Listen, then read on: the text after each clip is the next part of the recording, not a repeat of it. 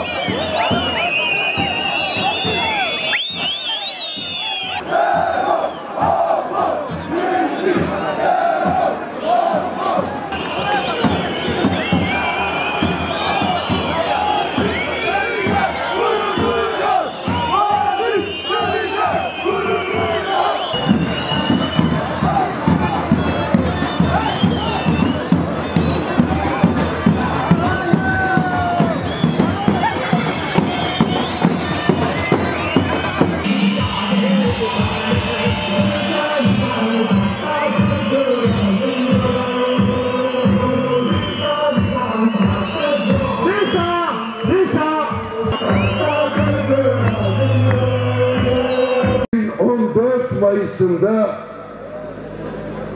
emin olun dört milletvekiline gideceğiz. Türkiye'ye yüz milletvekili götüreceğiz. Yüz. İşte o zaman zindanda olan herkesin özgürleşmesini istiyoruz.